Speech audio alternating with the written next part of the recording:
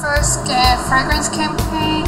So yeah, I was a little bit nervous in the beginning, but now it feels all good. I just moved to New York, but I've been traveling in and out for about one and a half year now.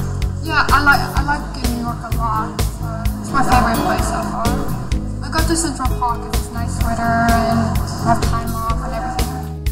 We arrive in the morning, like she's they like just a ponytail, like something very simple. At the same time, they like to be more womanly.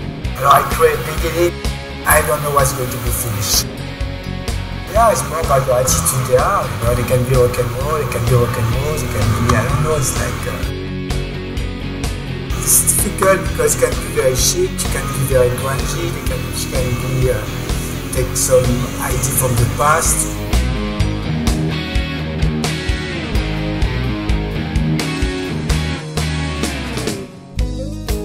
Rock and roll moment for me would maybe be me with my friends. I don't know, going shopping, on a party, having fun, you know. Uh, I think I'm a little bit both rock and rose. but it depends on the day and what I'm wearing, what I'm doing, and everything. But right now, it would probably be a little bit more rose than rock. Rose than rock. I'm very glad and honored to be the one Valentino choose for